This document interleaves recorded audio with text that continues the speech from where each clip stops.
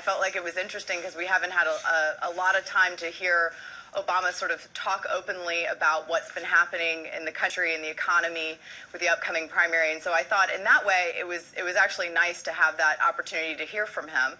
Um, but you know, I, the opportunity is always there for reporters if they want to ask hard questions. So I think that uh, you know it was it was good to to get a, sort of a, a, State of the Union uh, um, off the off off uh, timing right now. So I thought it was good. But was it appropriate, Flip, for the president to use that opportunity when the American people have so many questions mm-hmm. about their future to use that opportunity to attack the GOP candidates? It, well, it, it's it's oh, election well, it's election season. Okay. I mean, I, will just I mean I'll just say that it's the same thing Republicans do. It's the same thing Democrats do. It is no different by party.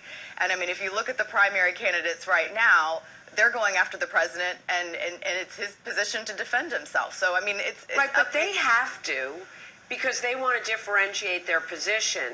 Well, so does he because well, he's got no, a, the president actually has a job to do. He's got the job. Well, right. He, he was in this interview in the capacity of president of the United States, not Democratic nominee uh, for the 2012 election. It, and we see it in a. I found it more, confusing. I found that it blurred the line. It, it, well, it did, and, and the line is more egregiously blurred, I think, on these ostensible policy tours that he's been going on, where he gets up to the stump and he simply bashes away at Republicans. It, it's it's a clear campaign speech, and that's fine if he wants to make a campaign speech. But when it's taxpayer funded, under the guise of a a, a, a policy, a working trip, uh, rather than a, a political trip um, where he's, like where he's ginning up votes. We, but, well, we've seen it in, in, recent weeks. Obama really pushing the envelope really? in terms of the, the, these speeches that he's making on these these bus tours to you know listening tours, whatever he wants to call them. Uh, they're simply you know again the, the message is now he seems to have settled on this just all in class warfare. Uh, but the fact that we're hearing that campaign theme and only that campaign theme on these taxpayer-funded trips, that's a line that it's it's a little I, less appropriate to blur. I can see that irking you. Go ahead, Marjorie. No, no, but I am going to just say, in the fairness of being an independent, I will say that I have seen the same thing under every administration, be it Republican or Democratic. As this time of year approaches, the nature of our democracy, the way it is set up, is that two-term presidents, they're within their first term, are going to have to be campaigning for their next position.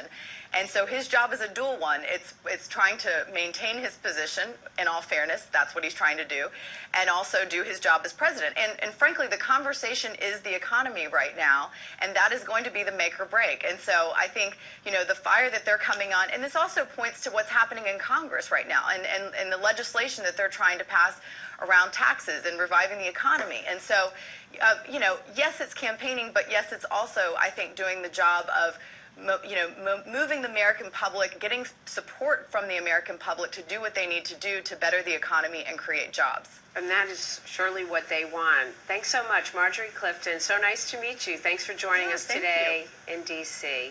Thanks. All right.